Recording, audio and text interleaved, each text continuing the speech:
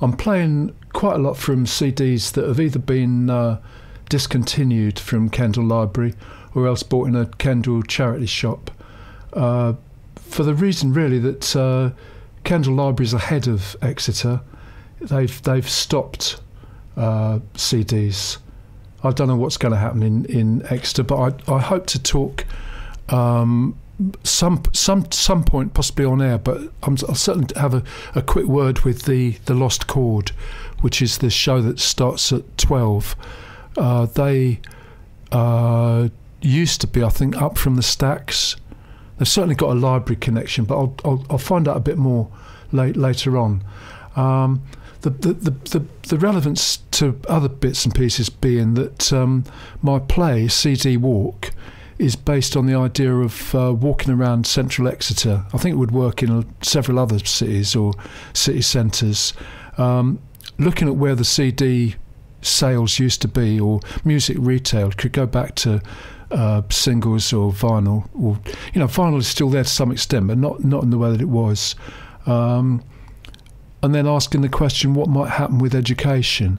Because there's probably going to be student accommodation and new building of student accommodation, and if um, music has moved into streaming and the cloud, why will education stay requiring so much student accommodation. I mean, there's obviously a question about the campus as well, but for the purpose of walking around the city centre, uh, it's the student accommodation that is evident.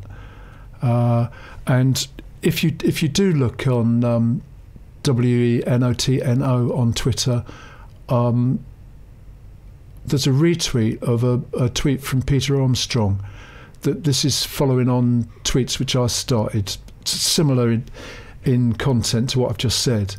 And um, Peter Armstrong is an emeritus professor at Leicester from the business school.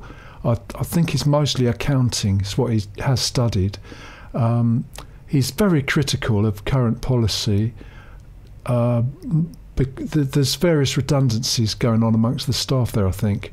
Also, uh, from what I know, of the business school there at one point it was it was very much into critical management studies and I think there was a move from somewhere else to make it a bit more mainstream, something like that. I'm, I wouldn't be certain what's going on there, but there may be reasons to, to query his point of view, but I think he makes a lot of sense.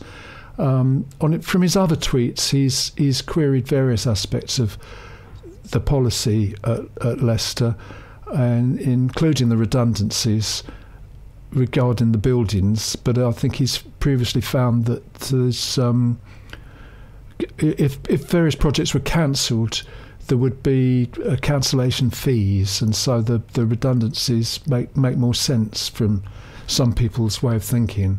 Anyway, the the tweet I I think is worth reading out. Um, this is from Peter Armstrong. You is is Twitter is Peter Peter Art one eight two two eight three nine six.